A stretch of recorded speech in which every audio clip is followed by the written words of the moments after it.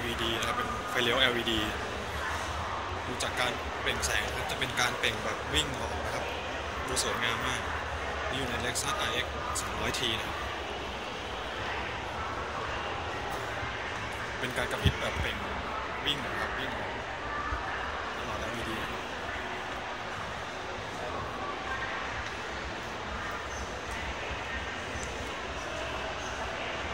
ก็ บานประตูนั้นทายเป็นแบบออโต้ลิฟต์